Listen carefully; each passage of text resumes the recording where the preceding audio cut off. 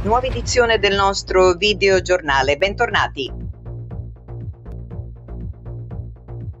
Schio ride notturno nel negozio di smartphone, asportati vari modelli per 10.000 euro di valore. L'incursione avvenuta nella notte tra domenica e lunedì sarebbe andata in scena intorno alle 2 di notte ed è stata opera di un lupo solitario ripreso da più telecamere interne di videosorveglianza.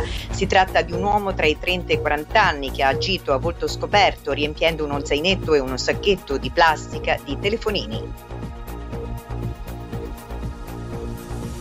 Vicenza Coca sul tappetino della Panda prima del controllo, tre vicentini fermati, uno arrestato, oltre ai circa 20 grammi di cocaina ritrovati nel vano portaoggetti dentro un sacchetto di caramelle e tra i piedi di un quarantenne di Anconetta. In casa sono stati rinvenute marijuana, hashish per un chilo. Arrestato in flagranza lo spacciatore ora ai domiciliari dopo la convalida. Liberi i due amici considerati puliti con lui in auto alle 3 della notte di sabato.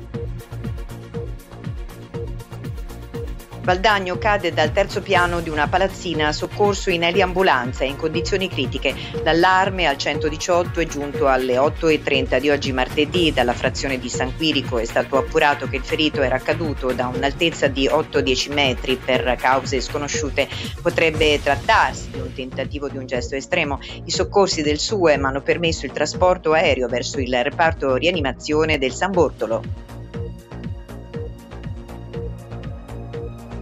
Schio cuore della divulgazione scientifica. Torna il Festival della Scienza dell'Alto Vicentino. Dopo il successo delle prime quattro edizioni, con numerosi ospiti d'eccezione, dal 4 al 6 novembre torna a Schio il Festival della Scienza, un weekend dedicato all'innovazione, comunicazione, al sapere scientifico, con numerosi eventi per famiglie, bambini e adulti, una nuova formula con 20 diversi appuntamenti.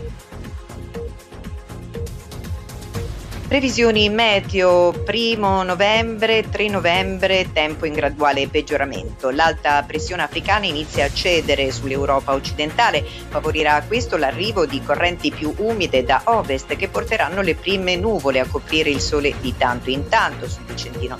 Conseguentemente lo zero termico in quota inizierà a calare. Pagina dell'Eco Nazionale Politica, Giorgia Meloni, mai temuto di non poter creare un esecutivo. Primo bilancio del nuovo governo targato Giorgia Meloni, a farlo il, la leader di Fratelli d'Italia. Non ho mai temuto davvero di non riuscire a fare un esecutivo, anche se ho preso in considerazione l'ipotesi di presentarmi in Parlamento senza un accordo preventivo con tutti gli alleati, quando alcune proposte mi sono sembrate irricevibili. Economia, caro bollette, Confcommercio lancia l'allarme, paghiamo l'elettricità più 70% rispetto alla Francia, secondo i dati rilevati da Confcommercio gli italiani pagano l'elettricità il 70% in più rispetto alla Francia, la bolletta della luce è mediamente superiore del 27% rispetto alle imprese spagnole. Ucraina, scoperte altre camere delle torture, anche oggi partono tre navi con grano, giunge al 251 giorno la guerra in Ucraina, la polizia ha appena reso noto che nel paese sono state scoperte 34 trastanze delle torture, prigioni che erano state allestite dalle forze russe nei territori da poco liberati da Kiev.